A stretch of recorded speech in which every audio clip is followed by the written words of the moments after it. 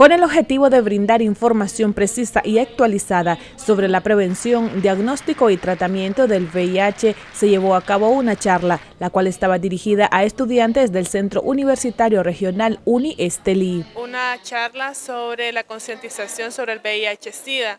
Es una actividad promovida desde la Promotoría Solidaria, eh, UNEN y el Voluntariado Universitario de acá del CUR Uni Estelí.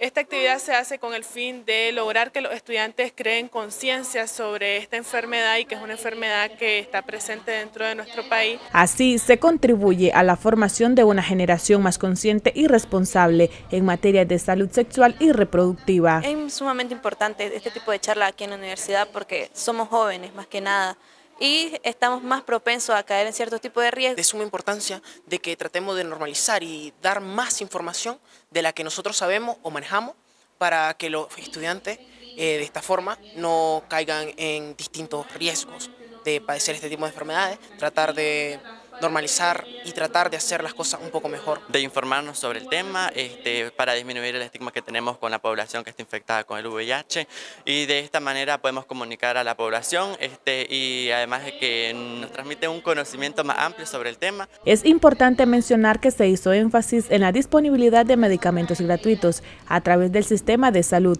así como también la existencia de diversos programas de apoyo para las personas que viven con VIH. Desde el Departamento de Estelí con la colaboración de Luisa Ruiz, Tatiana Ruiz, Noticiero 6.